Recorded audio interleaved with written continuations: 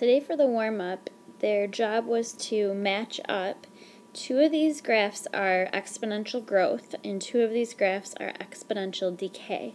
So which is which? If you guessed that this first one right here is decay, you're right, because the arrow is going down and the numbers are getting smaller. If you guessed that this one was growth, you are right, because the values are getting very big very quick.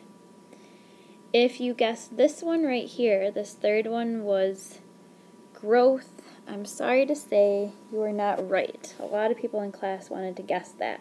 But this graph right here is exponential decay. And the reason is this.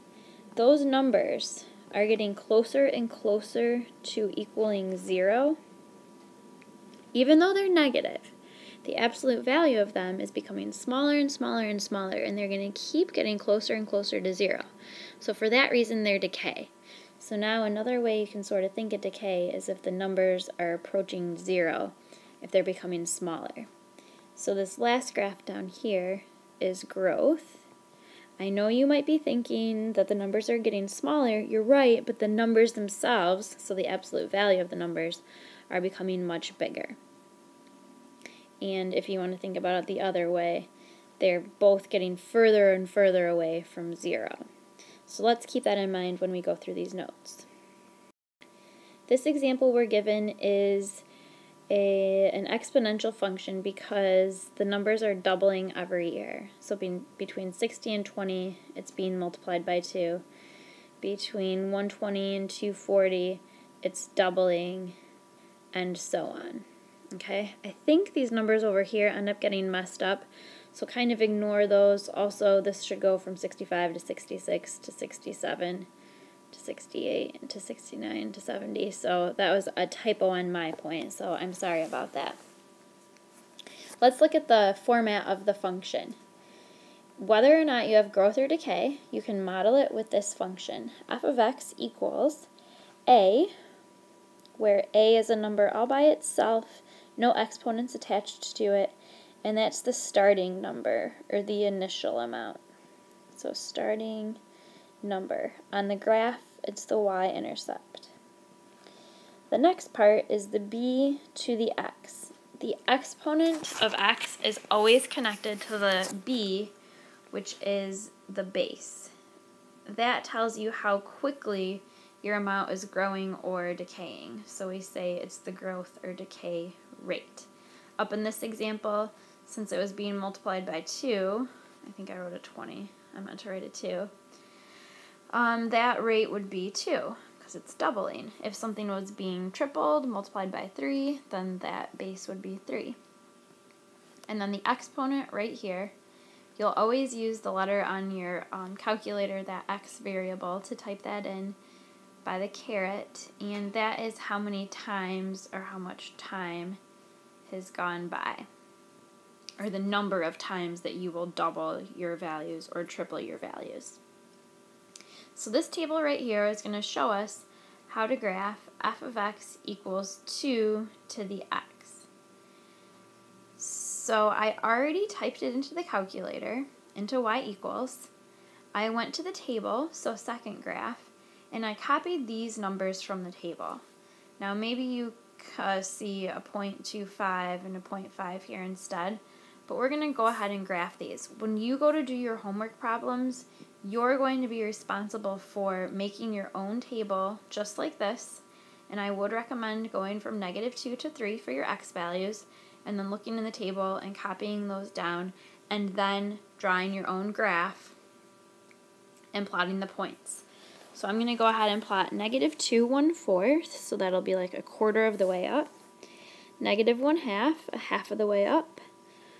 0 over 1 up, and if you notice in that function, the a value that would be in front of the number b to the x, so choose the base to the exponent, the number that would be in front of it would be a 1. It's not there, but if it was there, it would be a 1, which matches up with the fact that our y-intercept is 1. So there it is, right there. And I'll keep plotting the other points. 1 over 2 up, 2 over 4 up, and 3 over 9 up. So there's the exponential graph for that.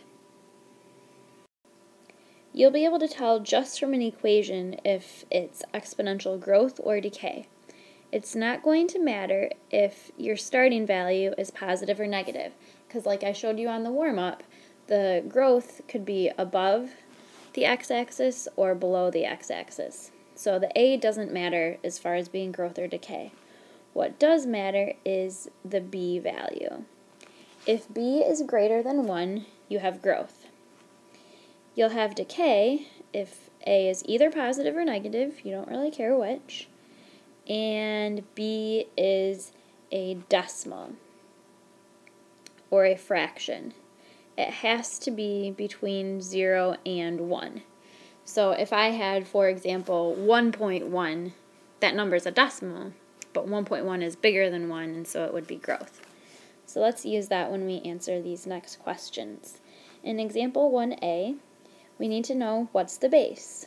Well, that question is answered by what number is connected to the exponent? The 1.5. That's the base. What's a in this problem? Well, it'd be a 1 right in front. So since 1.5 is bigger than 1, this will be a growth problem. Now we're going to graph it. So I'd go to y equals, type that into y equals, press second graph, and look at the table.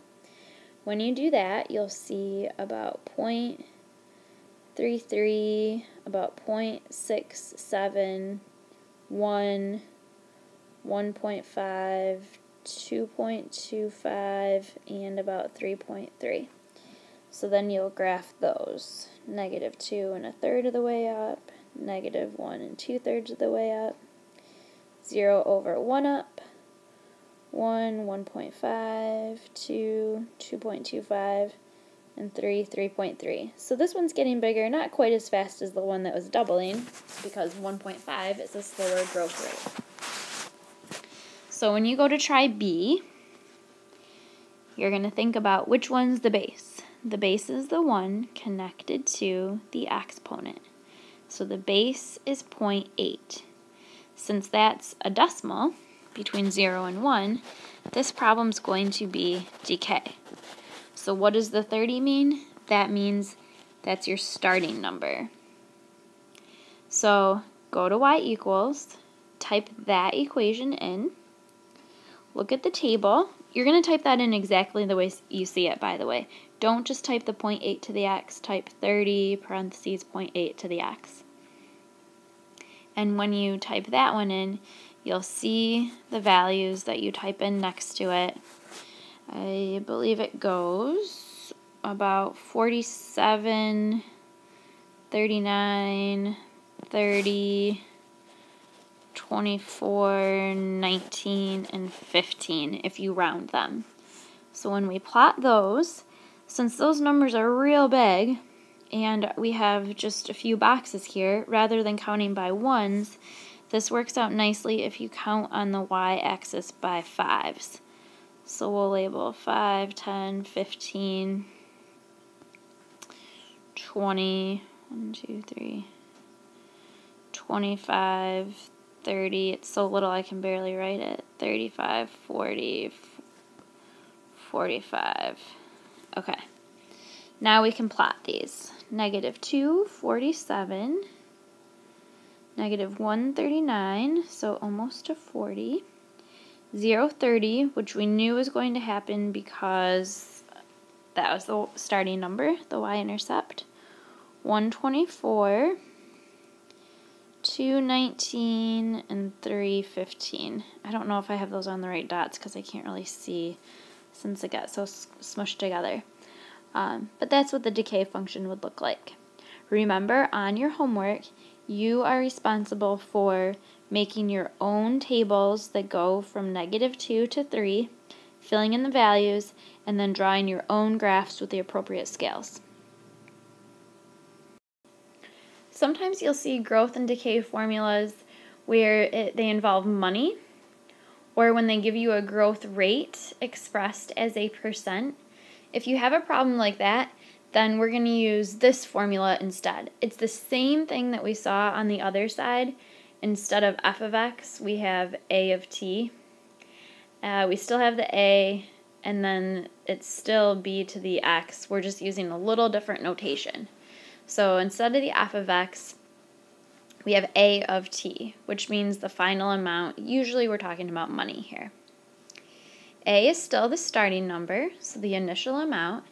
And this time, if your rate is a percent, only if your rate is given to you as a percent, you will do 1 plus your rate of increase if it's a plus sign or decrease if it's a minus sign.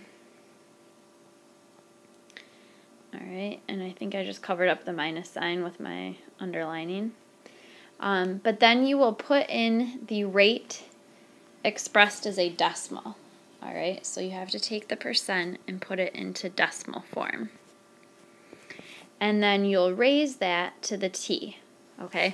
When you type it in the calculator, you'll still type in the x, but that stands for the number of time periods that goes by. So what's happening to your money over time, over the number of weeks or months or years or whatever you're looking at. So just to rewrite this, if you have r or 1 plus r, it will be a growth problem. And if you have 1 minus your rate, that will be a decay problem. So let's use that information to write our own function in example 2. Tony purchased a rare guitar from 1959 in the year 2000 for $12,000. Now they say that that value is going to increase 14% a year we're going to use a graph to find when the guitar will be worth $60,000. Well, in order to graph it, we have to write a function. So, A of t, the amount of money the guitar is worth over time. We need how much the guitar was initially worth. Well, at the beginning, the investment was $12,000. So that's our number for A. Now we need to put in the either growth rate or decay rate. Since it said the value is increasing, this will be a growth rate and we will add to 1. What are we going to add? 14% expressed as a decimal. So we move that decimal over two places and it will be 1 plus 0.14 to the x. Now you could combine those and put um, 1.14 when you go to type it in the calculator. Um, or you could just leave it right like that. Type that equation in. If you're trying to see the graph of this, you could use the trace button, but you're probably going to want to make sure that the graph shows up in your window first. If you can't see it, if you're on Zoom 6, you're going to want to try, oops, not Zoom 6, you're going to want to try Zoom 0. Zoom 0 is fit, and it will fit the graph so that you can see it in the window.